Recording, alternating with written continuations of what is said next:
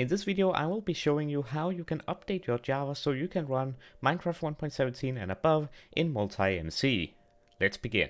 Alright, if you're someone who is like me and only been playing Minecraft 1.16, then you are most likely going to have this problem. So if we go into my settings right here and go into Java, you can see that I'm running with JRE 1.8 and if we run the test here, you can see Java version reported 1.8 right there, which works for Minecraft 1.16 and down.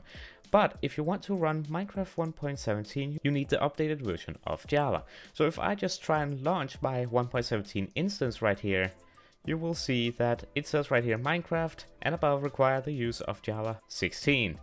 So let's see how we can fix that. So in Java you can see I have 1.8 installed. What we need to do is we need to go to this site right here and I will leave a link down below in the description. This is the official oracle.com website from Java and if you scroll down all the way down here to the Windows x64 installer right here and go ahead and download that. So download JDK 16 right there. Once it is downloaded, go ahead and open the installer.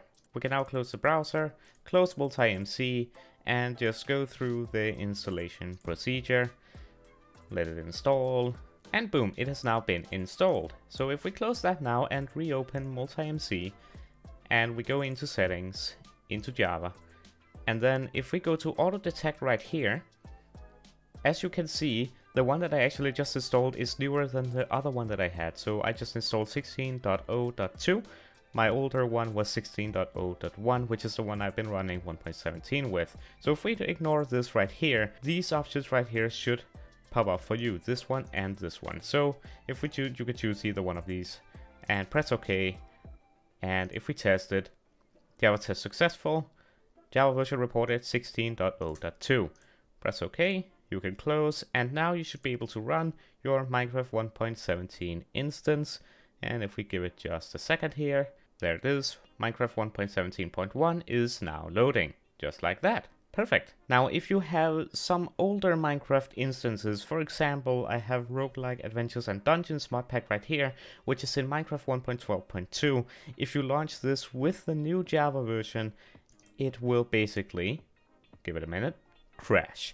And that is because the older Minecraft version does not work with the new Java. But all you need then to do is click Edit Instance, go to Settings, and then tick the Java installation right there and then basically do the same but opposite. So click auto detect and you can see 1.8 right here, select it, press OK and this specific instance will now be running with Java 1.8. So give it a second. And as you can see, Roguelike Adventures and Dungeons in Minecraft 1.4.2 is now running with Java 1.8. And that concludes this tutorial. If you have any questions, be sure to let me know down in the comments below, or even better, you can join my Discord server, link down below in the description as well, where you can ask me questions and advice when it comes to MultiMC. But anyways, hope you enjoyed this tutorial. If it helped you out and you enjoyed it, be sure to leave it a like. And of course, if you haven't done so yet, be sure to subscribe for future tutorials and a bunch of other Minecraft related content as well. But anyways, that concludes this tutorial. Hope you enjoyed, and I hope to see you in the next one. Have a wonderful day and